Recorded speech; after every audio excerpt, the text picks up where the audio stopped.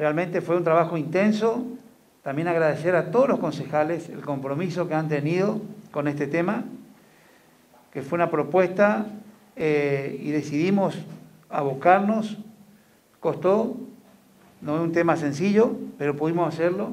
Así que, señor Intendente, eh, sabemos de la decisión política del Ejecutivo con respecto al medio ambiente, que es política de Estado, también lo es para el Consejo Deliberante, hacerle, como decía Rolando, la entrega de este instrumento, esta herramienta, que es sumamente importante y sé que todos los participantes que van a estar y el compromiso que tienen con, la ciudad y con, con, el tema ambiental, que le van a sacar el provecho máximo y va a ser muy beneficioso para, para Puerto Rico. Así que, señor Intendente, desde el Consejo estamos sumamente este, complacidos y contentos de poder haber finalizado esta, esta ordenanza que realmente va a marcar este, un hito y un antes y un después en el tema ambiental en Puerto Rico.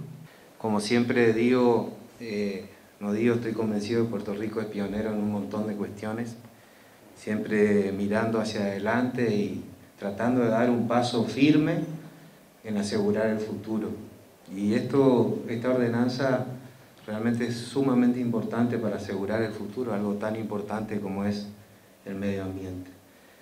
Así que yo no tengo más palabras que agradecimiento, felicitarlos por el trabajo, felicitar y agradecer a la gente que también acompaña e, hizo posible que esto, esto se concrete.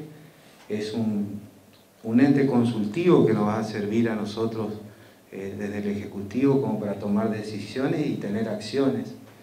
Eh, nosotros creemos y que estamos trabajando bien, si bien nos falta muchísimo por hacer en el trabajo del cuidado del medio ambiente.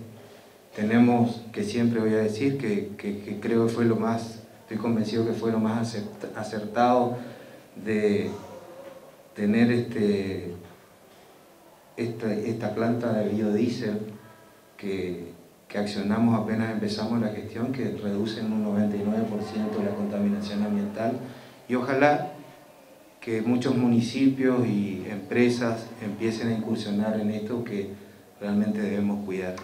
Como así también tenemos que trabajar muchísimo en la parte turística, en nuestro tesoro natural que es el Monte Seguín, en los humedales.